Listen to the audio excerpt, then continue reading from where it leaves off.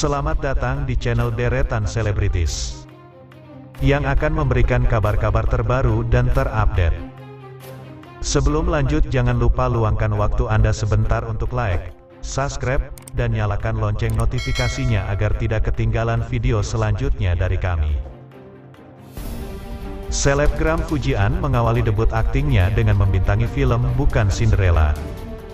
Di film garapan sutradara Adi Garin itu, Fujian memerankan karakter Amora. Amora dikisahkan sebagai anak SMA yang dikenal jutek dan galak, serta menjadi incaran teman-teman sekolahnya. Karakter Amora ini hampir sama denganku sehari-hari, kata Fujian di sela press screening film Bukan Cinderella di bioskop 21 Epicentrum Walk, Kuningan, Jakarta Selatan, Jumat, tanggal 22 Juli tahun 2022. Galaknya Amora gak beda jauh dan selama ini aku memang jutek ke semua orang, lanjutnya. Lantaran karakter sehari-harinya mirip, Fujian mengaku tidak susah memainkan peran Amora. Apa tantangan yang dihadapi Dara bernama asli Fujianti Utami itu saat akting di film debutnya itu? Susahnya pas akting senyum dan harus dialog dengan kata-kata manis, karena nggak terbiasa, ucap Fujian. Selain jutek, adik ipar mendiang Vanessa Angel itu tidak sulit saat melakoni adegan marah, seperti melempar buku hingga sepatu. Susahnya mengatur emosi dari adegan jutek ke manis.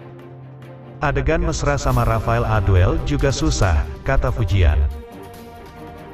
Fujian juga menjalani adegan ciuman dengan Rafael Aduel. Adegan itu, ciuman, gampang, ujar Fujian.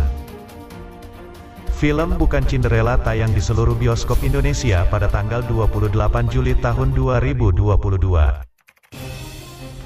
Yuk kita simak berita selanjutnya.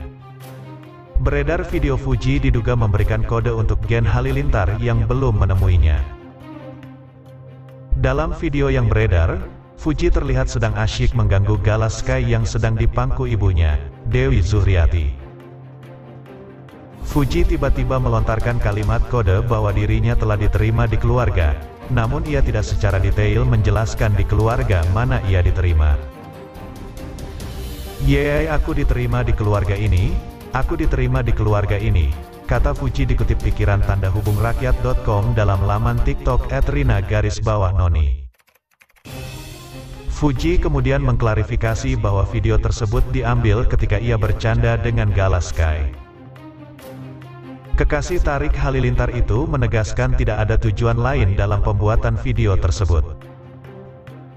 Itu lagi bercanda, karena aku gak bola megang Gala Samsek, Kenapa jadi ke mana-mana beritanya ya ampun, kata Fuji mengomentari unggahan TikTok at Rina garis bawah noni.